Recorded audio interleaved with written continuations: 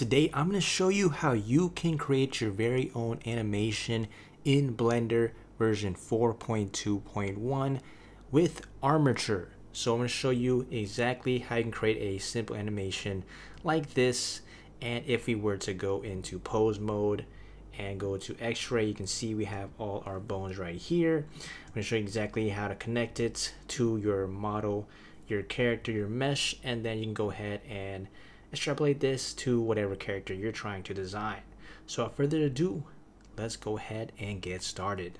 So here we are in Blender version 4.2.1 and it's going to be the updated version on how to create the animation using Armature. So first off, let me show you some of my settings. So go over to the edit and preferences. And if you have a laptop, make sure you have emulate numpad selected. But obviously if you have a desktop with mouse and numpad, it'll be a little different. But now you can see if I press the one button, we have the front view and a bunch of different views, but I'm mainly gonna stick with one here. And now let's press one, select the cube here, type G. Also I do have my screencast keys here as you can see, but let me hit escape real quick. So whatever I type, you can see this right there. So just in case you uh, miss some step. So I'm press G, then we're gonna do Z, and I'm gonna say 2.5. And that pretty much gets our guy, aka this is Cube Man, our model for today. That we're gonna add armature above like this. Press one again. Now we can copy this. We can press Shift D, and then you press G, and then X, and that moves it over like this. And then we can press S to scale it. And if we want to scale it, for example, let's do Z. This will shrink the arm like this and then if you change the view here scale it on the Y just like this and you can see we have an arm. And again this is very simple and we're going to redo this by doing shift D again. Now we have another piece then we're going to press R 90 this is going to be our leg click and then press G go right here select it S to scale X and shrink it down like this. Change the angle if you want to, but I think his leg looks pretty good there. And now, again, since this is a very simple mesh, we're just gonna pretty much mirror this across the cubes of the center here. If you do have a more complicated mesh with a lot more polygons, vertices, ideally what you'd want to do is split it in half and then mirror that way because uh, if you have like fingers and toes, like you, you won't be, it's gonna be very complicated. But again, for simplicity's sake, just showing you armature, we're gonna do this. We're gonna select Mr. Arm here, and then we're gonna click onto the modifiers tab, which is this little like wrench icon. And this is the difference with the old version I had of my channel beforehand. But basically the way you can see it now, it's simply add modifier here. And then if you go down you can see here to generate. And there's this effect here called a mirror. So now you have to select the object that you want to mirror across which will be the cube. And this is mirroring it across the x-axis which you can see here. If I do y and take that off you won't be able to see it. And if I do z nothing really happens here. So you make sure it's on the x and then rinse here again click on the leg add the modifier generate mirror select here, click, boom. Okay. Now we have Mr. Cube Man here, but the problem is that we need to select all of these first.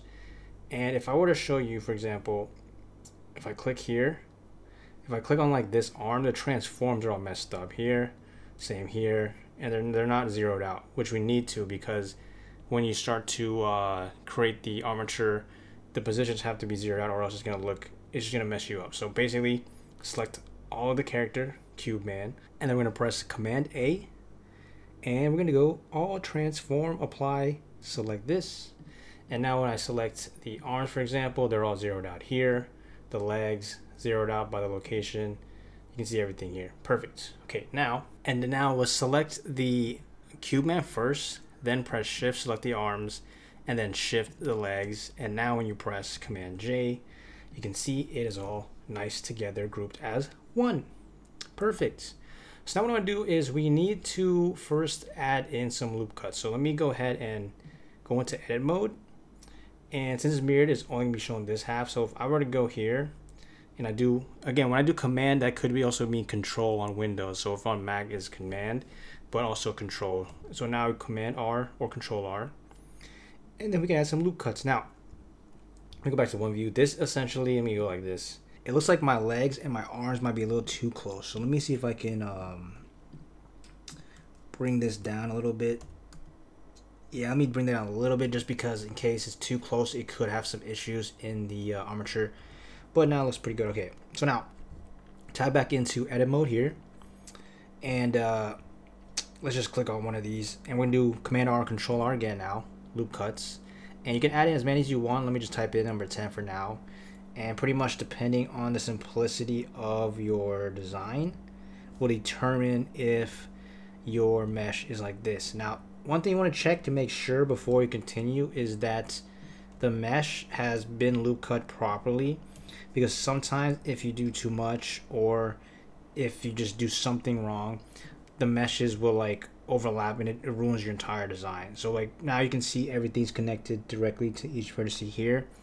And I'm just checking again just in case because I've had issues before where if it's not properly meshed then you're just gonna have like this weird overlap and it's gonna be really annoying to deal with. So now let's do the same thing with the uh, the leg. Click on any of the vertices control R command R again move into the center here let's just do 10 here click hit escape and let me just check okay yeah looks like checking in and looks like everything is looking the way I want it to perfect so now press tab or just go back to object mode here. Let's go to, we'll keep it in x-ray mode, but just in case you understand, we're like in this view. So back in x-ray mode. Now let us create the armature. So let's do shift A and then go down here to armature. So I'm gonna go G, Z, move this man right here. This is gonna be like the spine area.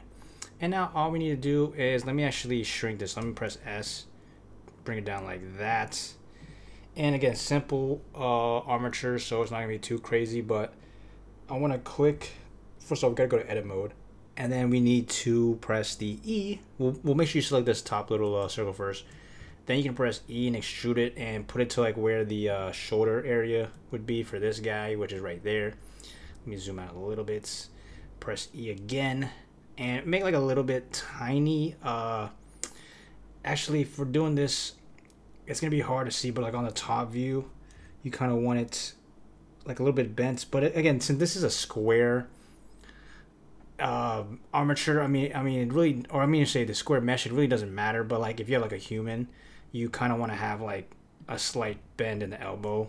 But like since his arm is literally straight, I'm not gonna do it for that. But basically, what I'm trying to say is, you if you do have like a natural human bone or arm, I should say, try to match the natural like default resting position. And then click again and E, put it right there. Okay.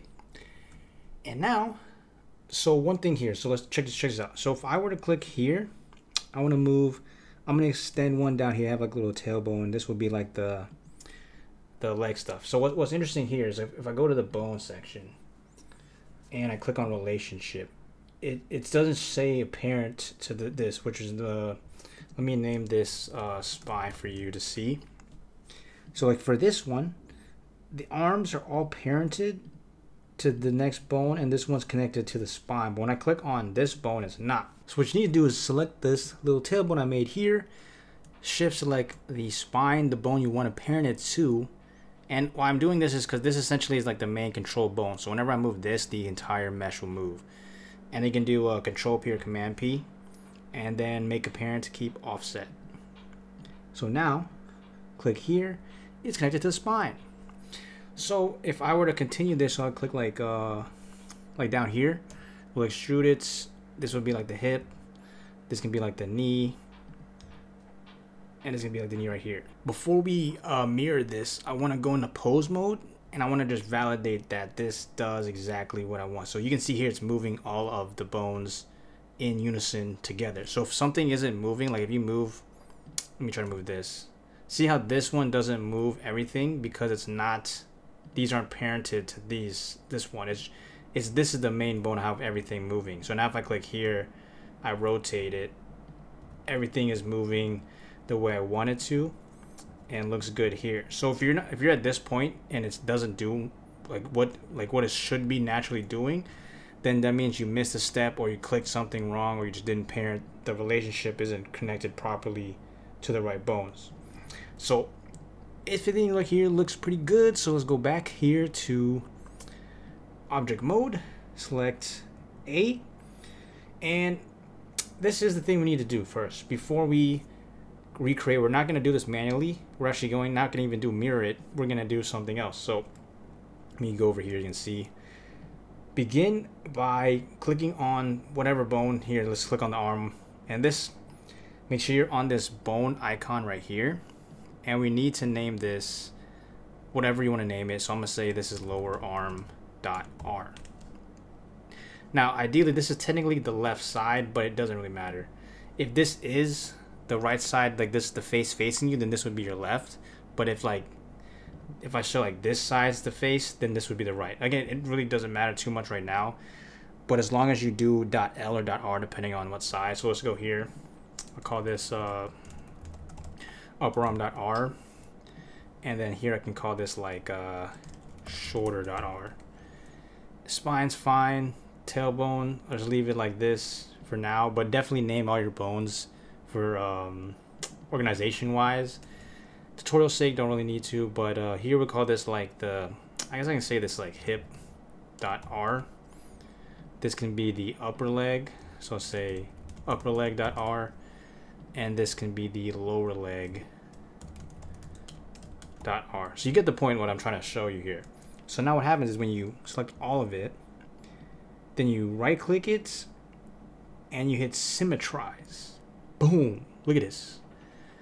We got robot. Just kidding. We got the bones. Now, let's go to pose mode. Click on spine man right here. Double check everything. Everything's moving like we wanted to. There's no issues. And looks like so far the bones are doing what they need to do.